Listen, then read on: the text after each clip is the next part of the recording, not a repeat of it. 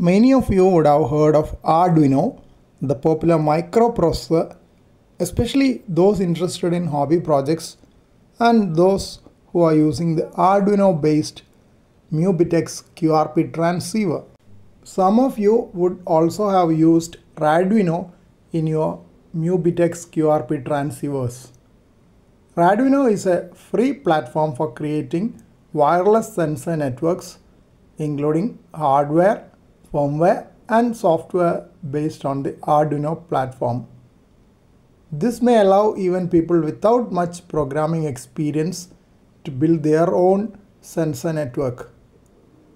Raduino project originated in Brazil in 2010 and is an extension of the Arduino project which started in 2005.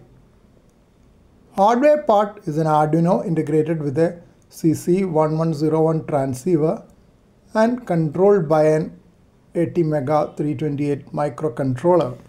CC1101 is a low-cost sub 1 GHz transceiver for very low power wireless applications.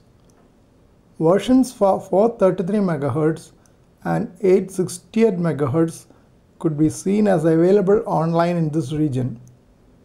ATmega 328 is a microcontroller commonly implemented in the Arduino platform.